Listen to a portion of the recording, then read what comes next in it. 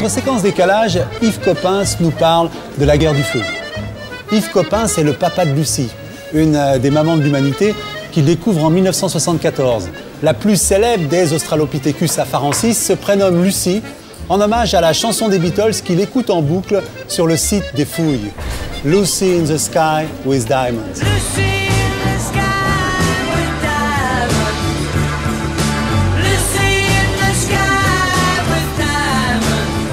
Chez Yves Coppens, la qualité de ses travaux va toujours de pair avec son souci de vulgarisation, comme le montre le fantastique succès à la télévision de L'Odyssée de l'espèce et Homo sapiens.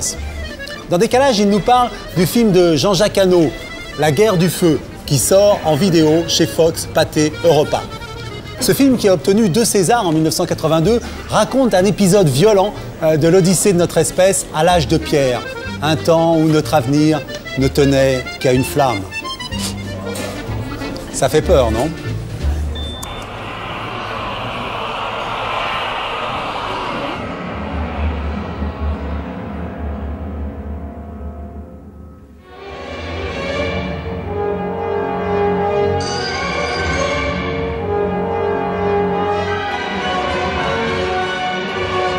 La guerre du feu est un film de, Jean-Jacques Hano qui a été diffusé pour la première fois en 1981 les héros du film euh, vivent dans une tribu qui s'appelle les Oulam.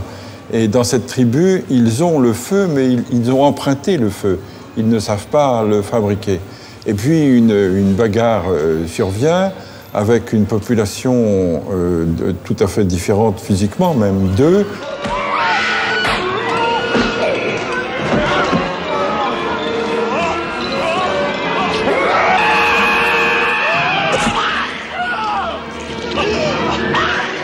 Dans cette bagarre, ils perdent le feu et catastrophe, ils ne savent plus le, refaire. après,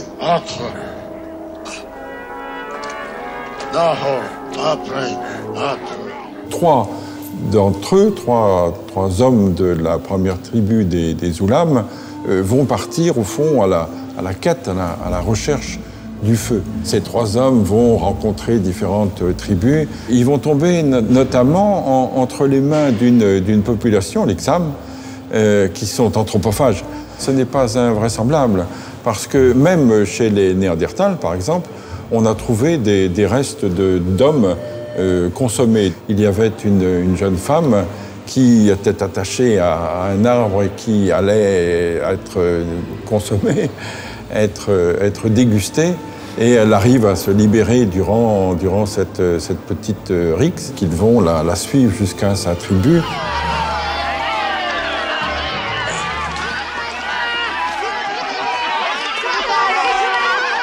Laquelle tribu non seulement possède le feu, mais sait le fabriquer.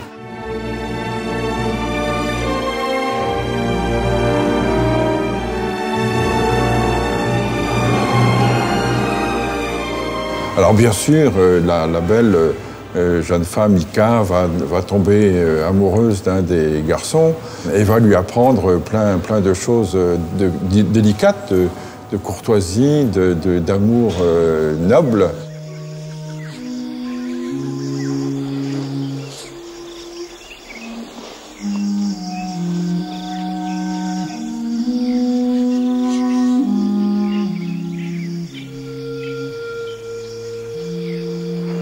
Y compris l'amour de face.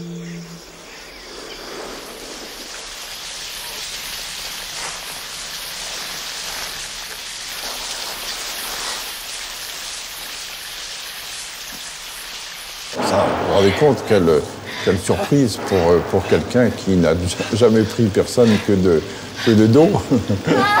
La, tribu de la petite jeune fille euh, s'appelle les, les Ivaka. Ces gens qui ont le feu et savent le faire explique aux, trois héros euh, comment on fait du feu.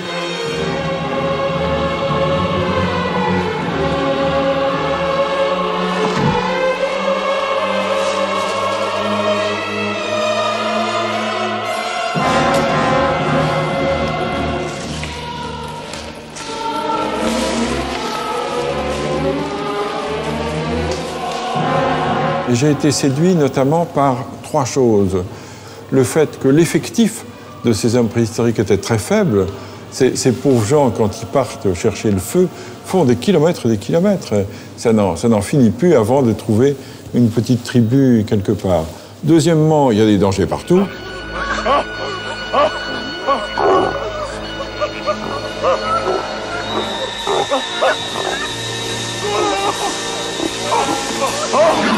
Jean-Jacques Hano, le réalisateur, donc, a, voulu situer sa, son action euh, autour de 80 000 ans. Ça nous apprend un certain nombre de, choses.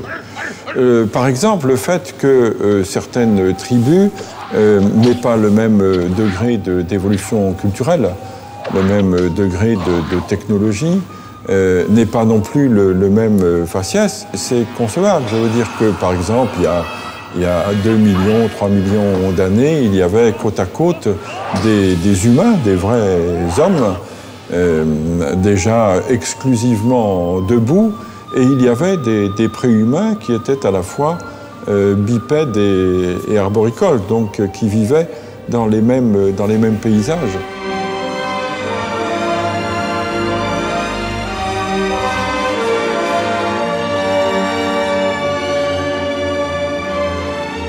La, petite euh, Lucie, qui m'est proche, comme vous le savez, puisque j'ai participé à, sa renaissance, en quelque sorte, à découverte, un petit personnage féminin de 3 200 000 ans, euh, pourrait faire euh, penser à, la petite Ika, parce que c'est aussi un petit personnage auquel on s'attache.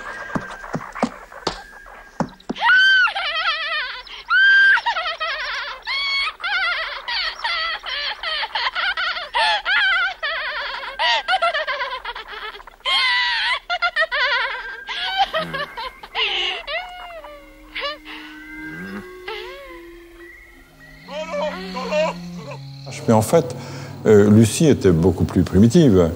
Euh, la, petite Ika était un, petit personnage presque, presque moderne.